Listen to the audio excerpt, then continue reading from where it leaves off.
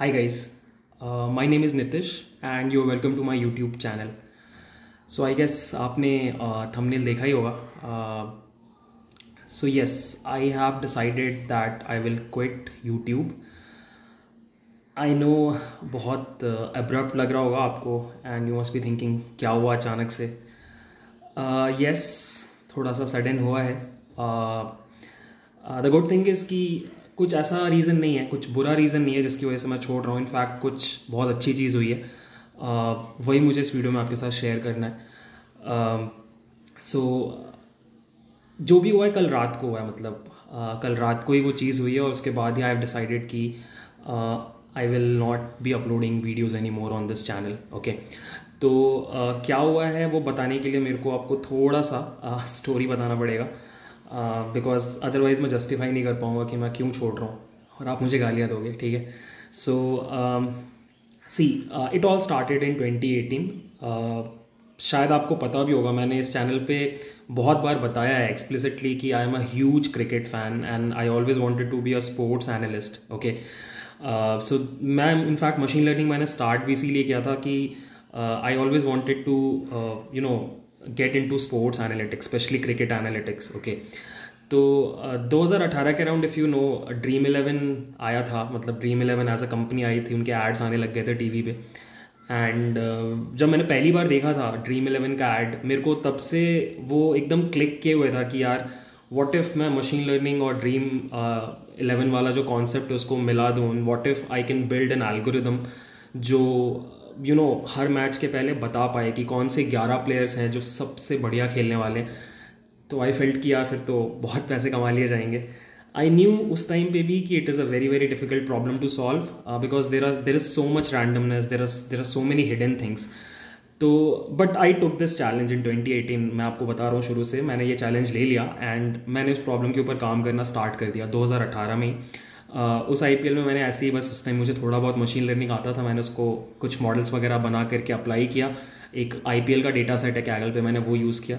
And my my model perform terribly मतलब बहुत ही ख़राब ठीक है? uh, उसके बाद भी मैंने ऑलमोस्ट एक साल कुछ कुछ सीखा मशीन लर्निंग कुछ कुछ अप्लाई करने का ट्राई किया यहाँ वहाँ से डेटा उठाता था और चीज़ें करने की कोशिश करता था। हज़ार उन्नीस वाले आईपीएल में भी I I tried Dream Eleven multiple times and I failed badly okay उस पॉइंट पे क्या हुआ कि आई फेल्ट कि यार नहीं, थोड़ा अगर करना है तो सीरियसली करना है, थोड़ा अच्छे से करना है और उस पॉइंट पे सिंस मैं चैनल पे थोड़ा काम करने लग गया था तो मशीन लर्निंग भी थोड़ी सी आने लग गई थी। तो आई फेल्ट कि थोड़ा और अच्छे से करते हैं। हाँ तो सबसे पहले मैंने वहाँ पे ये किया कि मैंने सबसे पहले डिफाइन किया कि ये जो ड्रीम इलेवन प्रिडिक्टर है, ये कैसा प्रॉब्लम है? Is it a regression problem और is it a classification problem clustering हो रही है, क्या हो रहा है? Then I realize one thing कि this problem is actually a regression problem if you think मुझे मेरे मॉडल में प्लेयर का नाम डालना है और वो प्लेयर वो मॉडल मुझे बताएगा कि उस प्लेयर के कितने पॉइंट्स होंगे उस रात के मैच में। और ऐसा मुझे 22 प्लेयर्स के लिए करना है। हर प्लेयर का एक स्कोर जनरेट होगा। मुझे टॉप 11 प्लेयर्स को निकाल लेना है। वही मेरी टीम होगी। ठीक है? इतना मुझे जैसे ही समझ में आया आ, मैंने एक काम स्टार्ट किया। मैंने डेटा एक्यूमुलेट करना स्टार्ट किया। मुझे अभी तक याद है 2019 ऑलमोस्ट पूरा का पूरा मैंने स्पेंड किया क्रिक इन्फो की वेबसाइट पे जाके। मैंने हर मैच को स्क्रेप किया, हर मैच का पूरा ball by ball data scrape किया और फिर हर प्लेयर ड्रीम इलेवन के रूल्स के हिसाब से कितना स्कोर बनाएगा या कितना स्कोर अर्न करेगा उस मैच में, ये मैंने प्रोग्रामेटिकली क्रिएट किया। इसका मैंने पूरा एक कोड बनाया। बहुत सारा एरर आया डेटा में, बहुत सारी मिसिंग वैल्यूज़ थी डेटा को क्लीन करना। इस पूरी चीज़ में I spend around one year sorry I got a call so so, ये डेटा मैंने पूरा 2008 जो पहला आईपीएल था जब ड्रीम इलेवन था भी नहीं तब से मैंने ये डेटा जनरेट किया for all the I for every match for every player जो जिन्होंने भी आईपीएल खेला था ठीक है? जैसे ही मेरे पास ये डेटा आ गया ना तो आई रियलाइज़ कि हाँ अब मैं थोड़ा सही डायरेक्शन में हूँ। ठीक है? फिर मैंने क्या किया? मुझे मशीन लर्निंग इस पॉइंट पे काफ़ी कुछ आ चुका था मशीन लर्निंग में। तो मैंने जो सबसे तगड़े एल्गोरिदम्स थे मशीन लर्निंग में एक्सटी बूस्ट हो गया ग्रेडियंट बूस्टिंग हो गया इन सबको यूज़ करके ऑनसॉम्बल टेक्निक्स को यूज़ करके स्टैकिंग टाइप की टेक्निक्स को यूज़ करके कुछ मॉडल्स बनाने स्टार्ट किए और एक्सपेरिमेंटेशन स्टार्ट किया। एंड यू वॉन्ट बिलीव 2020 के आईपीएल में आ, मतलब कुछ मैचेस में मैं थोड़ा थोड़ा जीतने लगा लाइक चिल्लर पैसा ही जीता बीस पच्चीस रुपये टाइप सी बट मैं जीतने लगा एंड आई फेल्ट कि यार आप थोड़ा सा सही डायरेक्शन में मूव कर रहे हैं। बट आई फेल्ट कि मशीन लर्निंग में there is a bottle like machine learning पूरा इस प्रॉब्लम को शायद सॉल्व नहीं कर पाएगा एंड आई फेल्ट उस टाइम पे डीप लर्निंग पढ़ना मैंने स्टार्ट किया था।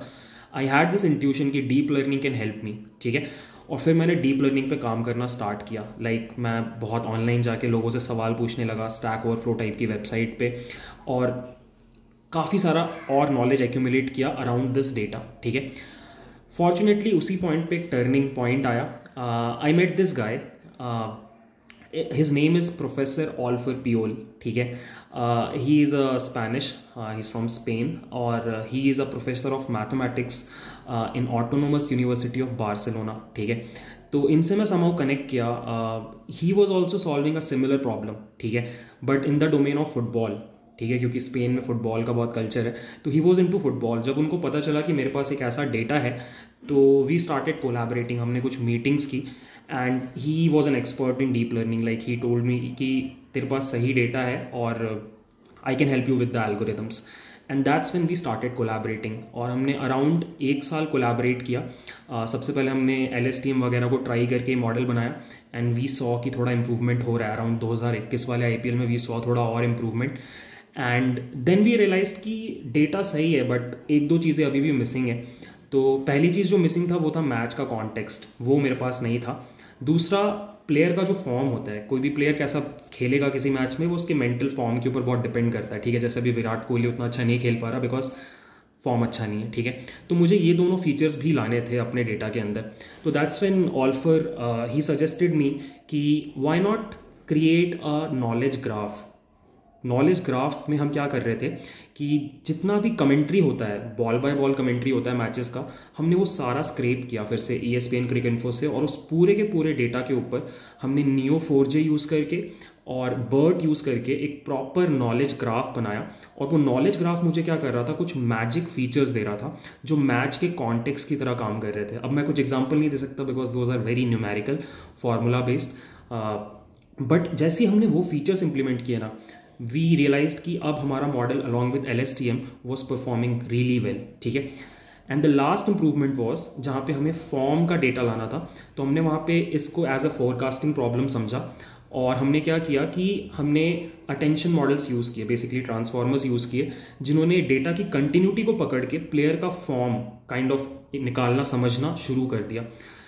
और इसके अलावा फिर कुछ और चीज़ें की प्लस माइनस एंड अब करेंट स्टेट में आई कैन टेल यू कल रात को क्या हुआ है this is the main thing कल सातवां मैच था आईपीएल का uh, इस सीज़न का और यू वॉन्ट बिलीव कल रात को this was the result I don't know आपको दिख रहा है कि नहीं बट आई वॉन लाइक हमारी team nine thousand five hundred जीती.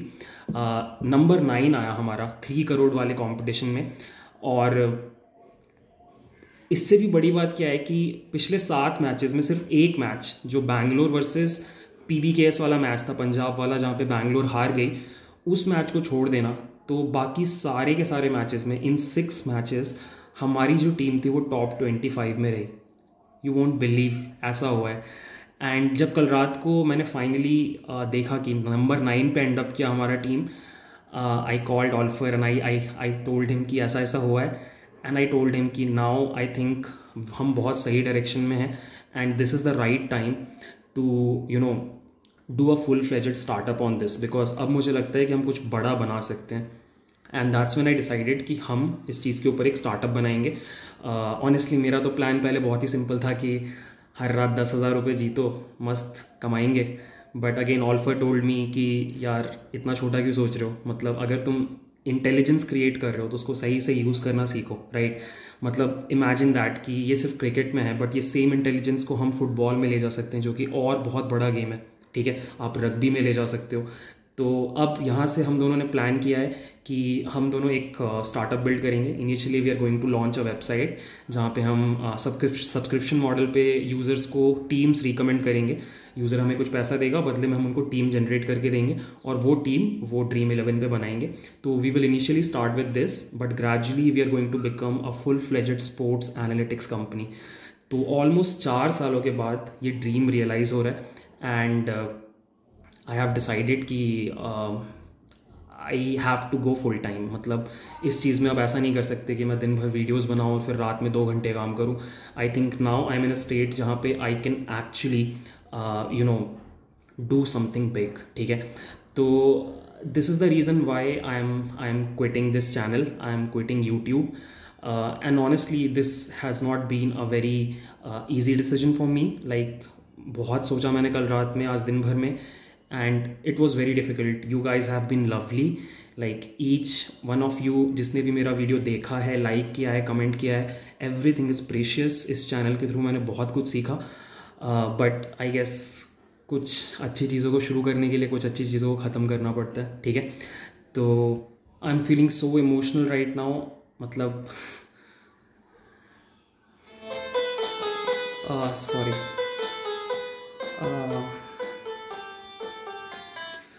I am getting calls constantly मैंने अपने स्टूडेंट को बता रखा है। तो they are constantly calling me and they are asking कि क्यों आपने डिसीज़न लिया?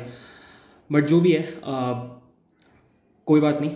I can promise you one thing कि जितने भी वीडियोज़ हैं मेरे चैनल पे ऑलमोस्ट 800 वीडियोज़ हैं। ये हमेशा रहेंगे वहाँ पे। I am not going to delete the channel जब तक यूट्यूब है तब तक ये चैनल रहेगा। एंड आई होप मेरे बनाए हुए 800 वीडियोज़ आपको हेल्प करेंगे। I really wish you all कि आप लाइफ में फोड़ो ठीक है? वन लास्ट थिंग हम हमारे स्टार्टअप के लिए कुछ इंटर्न्स हायर करना चाहते हैं एंड uh, आपसे बढ़िया लोग मुझे नहीं मिलेंगे ठीक है? आप लोगों को मैंने पढ़ाया है तो आई बिलीव कि आपको चीज़ें आ रही हैं। तो आपके लिए अगर आप इंटरेस्टेड हो मेरे साथ काम करने के लिए तो मैंने डिस्क्रिप्शन में एक क्वेश्चन छोड़ा है ठीक है? आपको वो क्वेश्चन सॉल्व करके उसका आंसर मुझे मेल करना है। अगर आपने उसका सही आंसर मुझे बता दिया तो आप हमारे साथ काम कर सकते हो, ठीक है? तो that's it I guess that's it bye one last time thanks for everything फिर मिलेंगे. बाय